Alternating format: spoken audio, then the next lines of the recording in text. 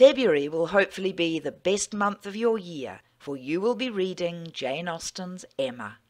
I hope to persuade you as we discuss its depth, richness, psychological complexity, and humour that this is the world's greatest novel.